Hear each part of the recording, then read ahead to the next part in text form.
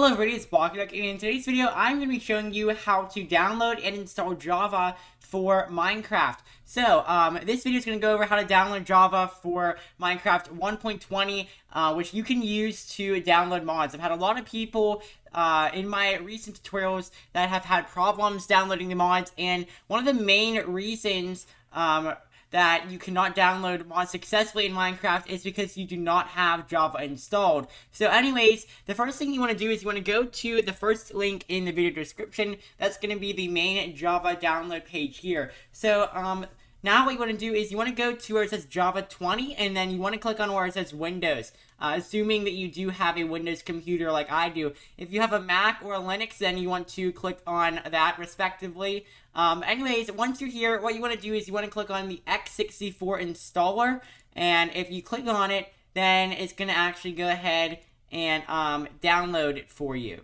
Alright, and then once um, your Java file downloads, uh, you're ready to open it. So it should say JDK20 uh, Windows EXE down here at the bottom. Um, and once you do that, you want to click on this little arrow, and then you want to click where it says Open. This is going to go ahead and actually open up the uh, Java installer for us. Alright, so here we are, and um, right here, it is like the little wizard to download Java. So right here, you want to click where it says Next and then you want to click where it says next again, and then it's going to actually go ahead and um, go through the process of installing Java. And this process may take a little while, but uh, you just want to sit here and let it do its thing until it's finished installing. Alright, so um, after about a minute, it'll go ahead and successfully download Java, and then all you have to do now is click on the close button, and that is pretty much it. Now, there is one other thing that you can do um, to ensure that you're getting the best uh, possible performance and um, the most security for your Minecraft mods.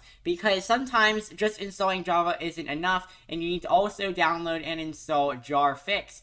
Um, so what you want to do right here is you want to go to this website right here. This is actually the Breakdown XYZ website. If you don't know who he is, he's another YouTuber who kind of makes tutorials similar to mine, um, and he has his own website where you can actually download Jarfix. So you want to click the second link in the video description. That's going to be the Jarfix website. And you want to click on this yellow button right here, and it's going to actually download a Jarfix automatically um, as another exe file. And then what you want to do is you want to go ahead and actually open it.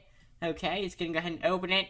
And then you want to click where it says yes right here and then it's going to go ahead and um, give you this little box right here and you just want to click on where it says okay and that's all you have to do you are done um, so now you have Java and Jarfix successfully downloaded and installed, so you can now download any mods that you want from Forge or Fabric or Optifine, whatever it is. Um, and that's all you have to do. So I hope that you enjoyed this tutorial. Thank you for watching and have a great day.